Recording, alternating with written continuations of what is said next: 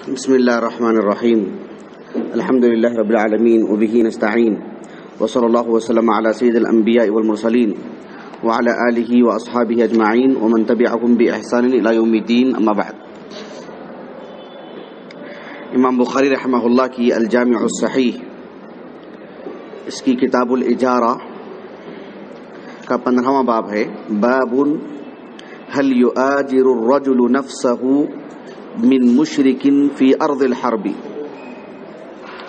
इमाम बुखारी रहमहुल्लाह ने सवाल को बाब को एक सवालिया अंदाज में कायम फरमाए हैं। गोया कि इसमें एक एहतमाल के तौर पर आपने इसको पेश किया है।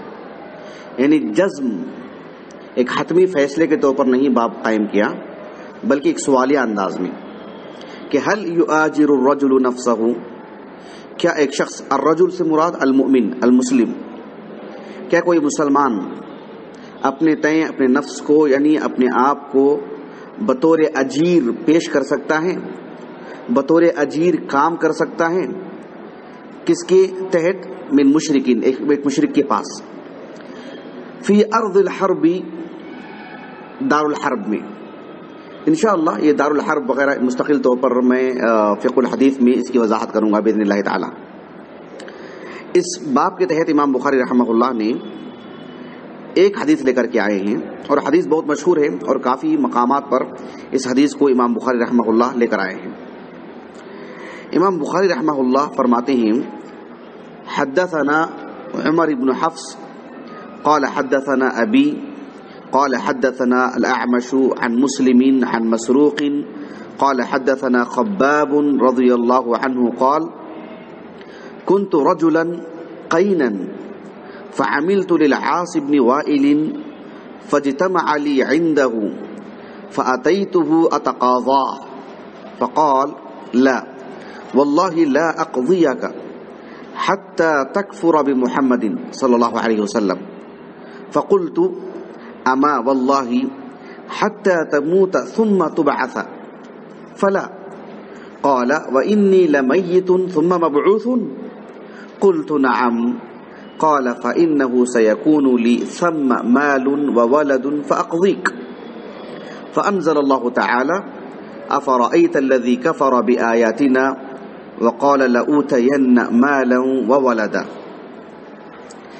इस सूरी मरियम की आयत करीमा है और इमाम बुखारी रहमा ने किताब तफसीर में भी इस हदीस को लाए हैं इस आयत करीमा की तफसीर में सूरत मरियम में इससे पहले किताबुल बुयू में भी लेकर आए हैं और इमाम बुखारी रहमा ने इस हदीस को जितने भी मकाम पर लेकर आए हैं, सब में अलग अलग सनद ही से लेकर आए हैं। बात आपको? किताबुल बुयू में इस हदीस में आप जाएँगे तो वहाँ आपको इनशाला यानी इसकी सारी तफसीलात मिल जाएँगी कि इमाम बुखारी रहमा ने इस हदीस को कहाँ कहाँ लाए हैं। लेकिन जितनी भी मकाम पर लाए हैं जैसे कि मैंने कहा कि किताबुल खसूमात में भी है किताब तफसीर में भी तीन मकाम पर एक के बाद दीगर नंबर पर लेकर आए हैं इसी सुर मरियम की तफसीर में। और किताबुल बुयूब में यहाँ पर किताबुल इजारा में भी। सब में अलग अलग सनत से लेकर आए हैं। सबसे पहले सनत पढ़ लेते हैं इनशाला फिर उसके बाद हदीस से मुतालिक जो आ, मसाला है इस किताब से मुतालिक और फिर दीगर फवायद भी पढ़ेंगे। इमाम बुखारी रहमा ने किताबुल इजारा यानी मजदूरी से मुतालिक जो अहकाम, मसाइल हैं, बतौर अजीर उजरत के जो मुसलमान काम करता है तो क्या बा, देखिए, बाबुन हल युआजिरुर्रजुलु नफ्सहु? यानी अर्रजुल से मुराद वहाँ पर मुसलमान। यानी एक मुसलमान अपने नफ्स को, अपने आप को बतौर अजीर, बतौर मजदूर पेश कर सकता है एक मुशरक को, कि एक मुशरक के पास जाकर के मजदूरी कर सकता है एक मुसलमान। एक ऐसी ज़मीन पर जो ज़मीन के दारुल हर्ब है। दारुल हर्ब से मुराद, वो ज़मीन जहाँ कुफार की अक्सरियत हो और कुफार अहले इस्लाम को, मुसलमानों को, उसके मुसलमान होने की वजह से उसे तकलीफ़ देते हों। उसे इस्लाम पर कायम रहने के लिए जो ना छोड़ देते हों। अब देखिए आप जो है, यानी आप यूरोपीय ममालिक को देख लीजिए, आप उन्हें दारुल हर्ब नहीं कह सकते। क्यों? मुसलमानों की मस्जिदें मस्जिदें नहीं है वहाँ पर। हिजाब से नहीं रह सकते मुसलमान वहाँ पर। हलाल हराम की तमीज करते हुए नहीं रह सकते। थोड़ी बहुत चैलेंजेस हैं, पेचीदगियाँ थोड़ी बहुत रहती हैं, लेकिन ऐसा नहीं है कि उसे दारुल हरब कहा जाए। जैसे आप देखिए हुकूमत सऊदिया को ले लीजिए आप। हत्या कि आप जो जो जो खलीजी ममालिक हैं, कुवैत ले लीजिए, दुबई ले लीजिए, ये सब क्या है? ये सब दारुल इस्लाम है। जो जो जो इस्लामी तालीमत को तरजीह हासिल है, बल्कि इसी के लिए ही वहाँ पर सब कुछ होते हैं। हुकूमत सऊदिया की तो मिसाल सबसे नुमाया। लेकिन आप देखते हैं कि हम हिंदुस्तान में रहते हैं तो क्या ये दारुल हर्ब है? नहीं, ये दारुल हर्ब नहीं है। ये दारुल इस्लाम भी नहीं है। ये वैसे ही है जैसे कि हबशा का मुल्क है, अल्लाह के रसूल के ज़माने में, सल्लल्लाहु अलैहि वसल्लम। जहाँ थी तो गैर मुस्लिम हुकूमत, लेकिन मुसलमानों को इस्लामी तालीमत पर अमल करने की मुकम्मल छूट। आज हिंदुस्तान में हम देखते हैं कि हम अल्हम्दुलिल्लाह, अल्लाह ताला की तौफीक, उसके फजल करम, उसके एहसान से हलाल हराम की तमीज़ कर सकते हैं। चौराहों पर हमारी मस्जिदें हैं, अजानें होती हैं। एक अजान क्या होती है, दूसरी अजान शुरू होती है। दूसरी क्या, तीसरी शुरू हो जाती है। हमारे इस छोटे से बेंगलुरु के इस छोटे से खत्ते में, बेंगलुरु का एक छोटा सा हिस्सा है। तकरीबन यहाँ पर जो है, तीस के करीब मस्जिदें हैं, अगर आप खंगाल लें तो।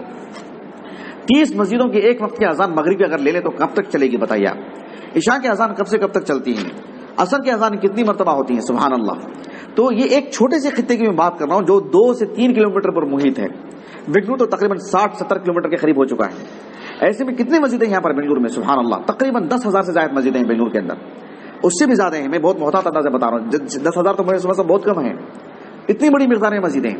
खैर तो ये सब जो है, यहाँ खातन हमारे पर्दे से रहती हैं। एक आधे स्कूल में, कॉलेज में मसाइल होते होंगे। इज्तिमाही तौर पर मैं आपको बात बता रहा हूँ। सफ़र करने के लिए हमारे लिए आसानी है। ईदगाह को मौके पर देखिए हम चौरास्ते पर जाकर के नमाज़ पढ़ते हैं। बड़े बड़े प्रोग्राम होते हैं हमारे। हुकूमत हमारी ये हिफात करती है। पुलिस हमारी हिफात करती है। ये सब चीज़ें होती हैं, एक आध कहीं जगहों पर कुछ सियासी तौर पर, कभी कुछ लोगों की शरपसंदी की वजह से कुछ मसाइल होते हैं, उस वजह से इस पूरे इस मुल्क को दारुल हर्ब नहीं कहा जा सकता। कि कहना खुद अल्लाह ताला की एक नाशुक्री है। ये कहना खुद शरान गलत है। बताजे हैं? जी। चलिए तो दारुल हर्ब से मुतालिक ये बात है। इमाम बुखारी रहमाहुल्लाह ने इस हदीस को जो लेकर के आए हैं, और बाप भी ऐसा नहीं कायम किए कि कोई जज्म हो, कोई हतमी बात हो। ऐसे नहीं कहा है कि जो है मतलब यानी एक एक एक मुसलमान का एक काफिर की जेर नगी मातहती में मजदूरी करना जायज़ है या जो है कर सकता है, ऐसा कोई हतमी बात नहीं कही है। बस एक एहतमाल जो है पेश किया है आपने। यानी, हल यु आजिर नफसहू मिन मुशरकिन फ़ी अर्जुल हरबी। अर्जुल हर्ब अर्जुल हर्ब, यानी दारुल हर्ब में। जहाँ मुसलमान किल्लत में हो और उन्हीं बहसत मुसलमान की तकलीफ़ दी, दी जाती हो क्या ऐसी ज़मीन में एक मुसलमान का काफिर के पास मुशरक के पास मजदूरी करना क्या ये जायज़ है? एक सवाल अंदाज और एक एहतमाल गोया कि आपने पेश किया है। एहतमाल क्यों पेश किया आपने? गोया के इमाम बुखारी रहमा ये बताना चाह रहे हैं खब्बाब इब्न अर्थ रज़ी अल्लाह की हदीस ला करके खब्बाब इब्न अर्थ रज़ी अल्लाह एक मुसलमान और जिसके तहत उन्होंने मजदूरी की वो काफिर। आसिबिन वाइल असहमी वो काफिर है वो मुशरक है।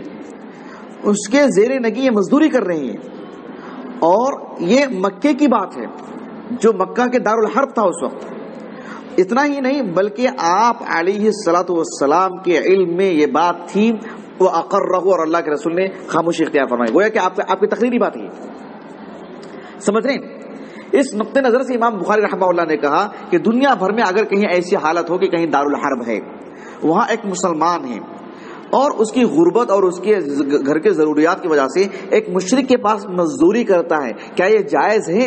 इस जवाज का पहलू कहाँ से निकाल रहे इमाम बुखारी रहमा कि खब्बाब रज़ी अल्लाह जो मक्के में थे, वो जो कि दारुल था, एक मुशरक के पास आप मजदूरी कर रहे थे और अल्लाह के रसूल के इल्म में ये बात थी और कैसी थी? आगे बात आएगी इनशाला कि। अल्लाह के पास कजिया गया तभी तो आयत नाजिल हुई। अल्लाह के रसूल के इल्म में बात थी आपने मना नहीं किया कि नहीं एक काफिर के पास आप मजदूरी नहीं कर सकते नहीं कहा आपने। बहुत अच्छी तरह वाजी है आपको? जी। क्यों दारुल हर्ब की कैद लगाई गई? इंशाल्लाह आगे पढ़ेंगे इनशाला चलिए इमाम बुखारी रहमा ने इस बाब में जज्म और हतमी बात यानी कि एक मुक्कत तौर पर कर सकता है। ऐसे आपने दो टोक अंदाज में क्यों नहीं कहा? इसलिए नहीं कहा कि ये चीज़ एक मुकैद है। क्या है?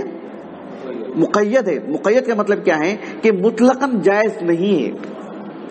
दारुल हर्ब में एक मुसलमान का खुद को जलील करके मजदूरी करना एक काफिर के पास, ये मुतलकन जायज़ नहीं है। इंद जरूरा, बल्कि अहले इल्म ने इसके लिए शर्त तक मुकर की है। मुहल्लब इब्न अबी सफरा रहमा इससे पहले इनके बारे में आपको बताया हूँ मैं।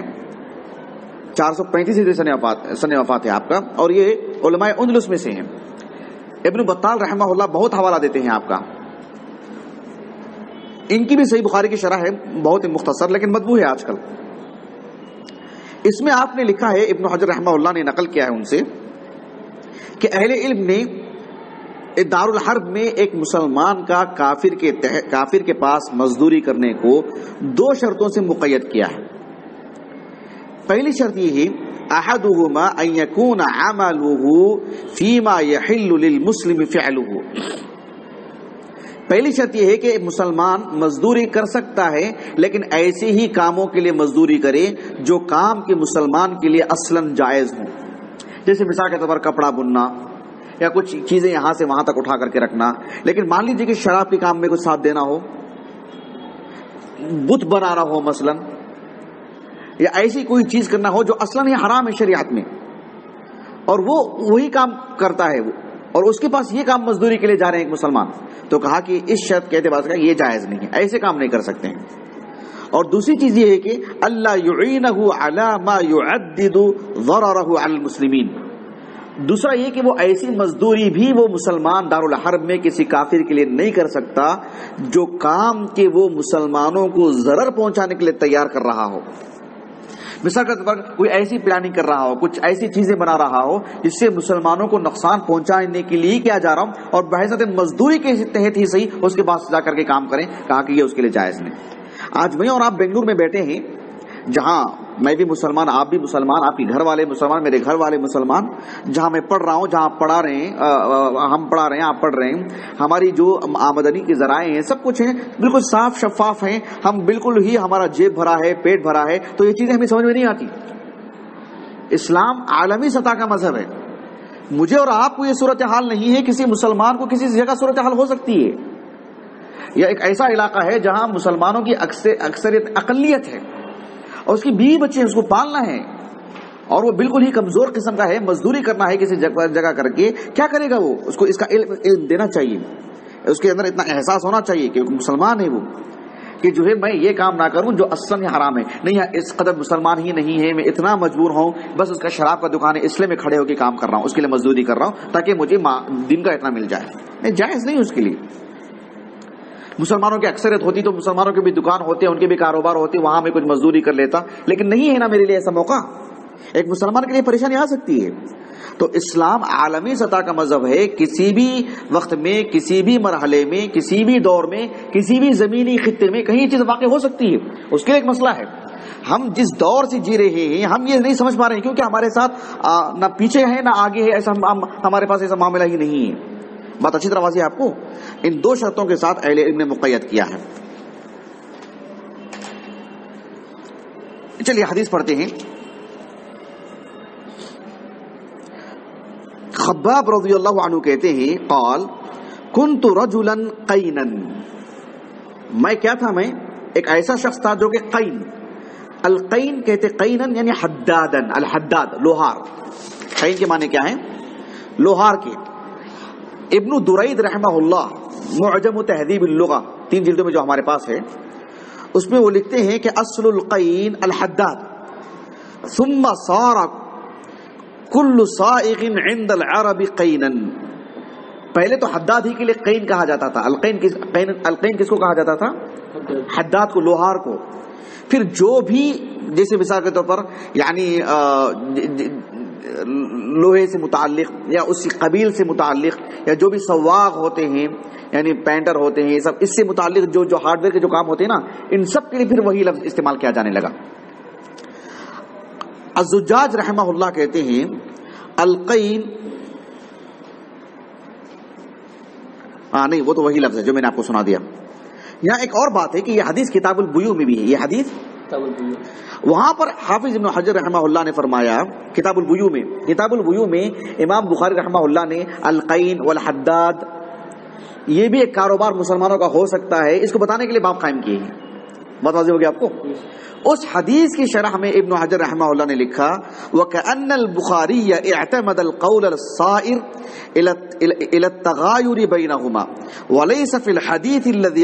औरदहु फिल बाब इल्ला जिक्रुल कैन वकअन्नहु अलहक़ल हद्दाद बिह फिर तर्जमती लिश्तिराकिहिमा फिल हुक्म यानी कियास जो करते ना उसकी बात यहाँ पर वाज़ेह हो रही है कि इमाम बुखारी रहमहुल्लाह ने अलकैन वल हद्दाद दो चीज़ें बाब में कायम की हैं जबकि इब्नु हजर रहमहुल्लाह कह रहे हैं कि बाब में, बाब बाब के तहत जो हदीस लाए हैं, उसमें तो सिर्फ़ कैन का ज़िक्र है, हद्दाद का तो ज़िक्र नहीं है। लेकिन हद्दाद का वही हुक्म है, दोनों में इल्लत एक है। इस वजह से फरा और असल में मुश्तरक तौर पर एक ही इल्लत है तो जामे है वो दोनों में तो हुक्म एक है, इस वजह से दोनों को एक जगह लेकर आ गए हैं। कियास किया उस पर इमाम बुखारी ने रहमा शेख साद शेख साद शफरी हफिज़ल्ला उन्होंने इमाम बुखारी रहमा की तराज में अबवाब को सामने रख करके उसूल फ़िक का इस्तेखराज किया है कि इमाम बुखारी रहमा उसूल फ़िक को जहन में रख करके कैसे अबवाब कायम किए हैं। जिस तरह से यहाँ पर ख्यास किया इमाम बुखारी ने रहमा बताजी अलहमदिल्ला बारकल्लाफिकुम चलिए, हदीस देखिए आगे। कुन तो रजुलन कैनन फ़ामिल तो आसिबन वाइलिन मैं आसिबन वाइल के लिए मजदूरी क्या करता था? आसिबन वाइल कौन शख्स है ये? ये अमर इब्न आस रज़ी अनहु, मारूफ सहाबी, जो अब्दुल्ला बिन अमर बिन आस है ना, उनके दादा हैं ये। अमर बिन आस रज़ी अल्लाह के वालिद। ये उनके वालिद हैं, बल्कि तारीख में इनसे मुतालिक ये बात कहा, कही जाती है नसलामा के अहदुलमस्तहजीन अल्लाह अकबर। कि ये उन एक उन लोगों में से था ये शख्स जो अहले इस्लाम का मज़ाक उड़ाया करता था। मज़ाक उड़ाया करता था। वल्लदीन अजरमू कैनु मिन आमनु यदहकून अहले ईमान का मज़ाक उड़ाना, अहले ईमान पर हंसना, कुफ्र की हालत में इंतकाल हुआ शख्स का। नसरसलामा बहरहाल, और जाहिलियत में, दौरे जाहिलियत में इस शख्स का बहुत बड़ा मकाम था। बहुत इज़्ज़त की निगाह से देखा जाता था ये बल्कि कुरैश के हुक्काम में से था ये शख्स। अभी जो हमने सही बुखारी के आगाज़ में पढ़ा ना एक एक, एक मसला। देखिए। वस्ताजर नबी सल्लल्लाहु अलैहि वसल्लम व अबू बकर रजुलन मिन बनी दील सुम्मा मिन बनी अब्द इब्न आदी हादियन खिर्रीतन अल उसके बाद देखिए बिल हिदाया कद गमस यमीन हिल्फिन फ़ी आल आस इब्न वाइल। हाँ? तो ये उसी से मुताल्लिक है। अल्लाह सुबहान तआला ने इनके फर्जंद को, अमर बिन आस को इस्लाम की तौफीक अता फरमाई। बहरहाल, देखिए कुन तो रजुलन कैनन फ़ामिल तो आस इब्न वाइलिन। मैं आस इब्न वाइल के पास मजदूरी क्या करता था? फजतमा अली इंदहू। उसके पास, फजतमा अली मतलब मेरी मजदूरी उसके पास जमा हो गई। कई दिरहम मेरे उसके पास जमा हो गए थे और कुछ तलवार भी मुझे देने थे उसको, वो सब उसके पास जमा हो गए थे। फ़तई तो अतकावाहू मैं उसके पास आया ताकि मैं उसके पास अपना हक लूँ। फ़कौल, ला, उसने कितनी मजबूरी का फ़ायदा उठाया, देखिए। उसने कहा कि ये मजदूर थे ना, ये गरीब थे। कहा कि, ला, नहीं दूँगा मैं। कब तक नहीं दूँगा? वल्लाही ला अकदिया का हत्ता तकफुर अबी मोहम्मदिन ला अकदी का तकफुर अभी मोहम्मदिन। जो तुमने मोहम्मद पर ईमान लाए हैं ना, सल्लल्लाहु अलैहि वसल्लम, उस वक्त तक मैं तुम्हें नहीं दूँगा, तुम्हारा हक। तुम्हारा हक नहीं दूँगा, जब तक कि तुम उनका इनकार ना कर दें। फकुल तो अमा तुबअसा। ये बात तो कभी नहीं हो सकती। तुम मर जाएँगे तुम दोबारा दोबारा तुम ज़िंदा कर दिए जाओगे जब तक भी जो है तुम्हें मैं, मैं मोहम्मद का इनकार नहीं करूँगा। क्या मकसद है इसका? जब तुम्हारी मौत आ जाएगी दोबारा तुम्हें ज़िंदा कर दिया जाएगा तो क्या मैं मोहम्मद का इनकार कर दूँगा? ये माना है उसका? नहीं। हाफिज इब्न हजर रहमा कहते हैं उनके अल्फाज देखिए वह नुकता तुफी ताबीर ही बिलबासी आस बेअनहू बेअनहू ला युमिनु भी ये दरअसल आस वाइल को आर दिला रहे हैं कि आखिरत के दिन पर तो तुम्हारा ईमान नहीं है ना? तो गोया को ये कहना चाह रहे हैं कि तुम्हारा दोबारा ज़िंदा होना ज़रूरी है। यानी कि मतलब ये है कि अमा वल्लाह हत्ता तमूत सुम्मा तुबास। जिसे बास बादल मौत को जो तुम इनकार कर रहे हो ना, आयदा कुन आयदा मन्ना खिरा ये सब इन्हीं की चीज़ें हैं ना। जिस तरह से तुम बास बादल मौत का इनकार कर रहे हो, उस दिन उस दिन है ना, उस दिन होगा। गोया कि आर दिला रहे तुम तो नहीं मानते ना इस बात पर? ये चीज़, जिसे तुम ना यकीन नहीं कर रखते हो, जिसे तुम नामुमकिन समझते हो, उसी को आर दिलाने के लिए बता रहे हैं बात। ये उसलूब इख्तियार किया आपने। कहा कि फला, जब तुम कयामत के दिन दोबारा उठा दिए जाओगे, उस वक्त भी मैं इनकार नहीं करूँगा अल्लाह के रसूल का, सल्लल्लाहु अलैहि वसल्लम, जिसका तुम इनकार कर रहे हो। किस कदर आर दिला रहे थे यानी एक मजदूरी लेने के लिए जा रहे हैं, लेकिन सुबहान अल्लाह ईमान का सौदा नहीं किया दो रुपयों के लिए। अल्लाह अकबर। कौल, व इन्नी लमयतुन अच्छा मैं मरने वाला हूँ। फिर दोबारा मैं ज़िंदा किया जाऊँगा? यानी मैं मुस्तहजीन में से ही। मज़ाक उड़ाने वालों में से। कुल तो नाम, मैंने कहा कि हाँ। कहा कि कौल, फ़इन्नहु सयकूनु ली सम्मा मालुन व वलदुन।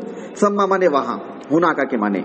फिर तो वहाँ मेरे लिए माल भी होगा, औलाद भी होगी, इससे ज़्यादा भी होगी। फाकदीक चलो, जब दोबारा उठा दिया जाऊँगा ना, वहीं आके ले लेना मेरे पास। सुबहान अल्लाह अजीम। फ़अनज़ल अल्लाह तआला। फ़अनज़ल अल्लाह तआला यानी अल्लाह के रसूल के पास वह कजिया गया और अल्लाह के रसूल के पास जब सामने ये मामला आया तो उस वक्त ये आयतें नाजिल हुई। अफरअतल्लज़ी कफर वक़ाल लऊतयन्न मालन वलदा। क्या आपने देखा नहीं उस शख्स को? जिसने मेरी आयतों का इनकार किया, कुफ्र किया, और कहता है कि जो है, मुझे वहाँ पर माल और औलाद से भी नवाजा जाएगा। उस पस मंजर में ये अल्लाह सुबहान तआला ने आयतें नाजिल फरमाई। तो बाप बिल्कुल वाजे है इंशाल्लाह। किताबुल इजारा में इस मसले को लाकर के इमाम बुखारी ने रहमा यानी एक नाजुक सूरत हाल की वजाहत फरमाई है कि ये एक ज़रूरत के तहत, शुरूत के तहत जायज़ है इस तरह की उजरत पे काम करना, इस तरह की एक मुसलमान के लिए मजदूरी करना। बात बिल्कुल वाजे है। बारक अल्लाह फ़ीकुम। सुबहानक अल्लाहुम्मा व बिहम्दिक, अशहदु अल्ला अंत, अस्तगफिरुका व अतूबु